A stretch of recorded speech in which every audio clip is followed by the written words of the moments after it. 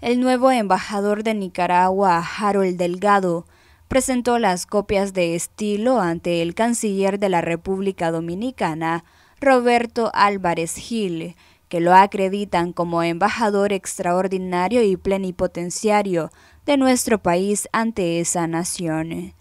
Según una nota de prensa, durante el encuentro se conversó sobre los avances de Nicaragua en materia de educación, comercio exterior, economía creativa, desarrollo humano, arte y cultura.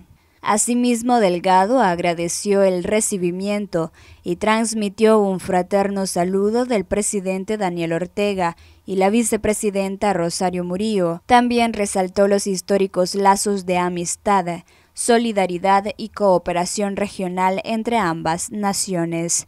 Al finalizar, el canciller Álvarez deseó mucho éxito a la misión diplomática, agregando su disposición de profundizar las relaciones bilaterales en temas de importancia para Nicaragua y República Dominicana.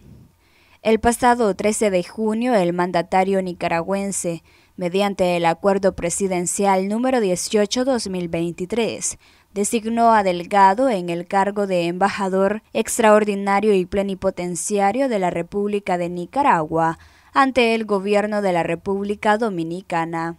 Para Noticias 12, Luisa Centeno.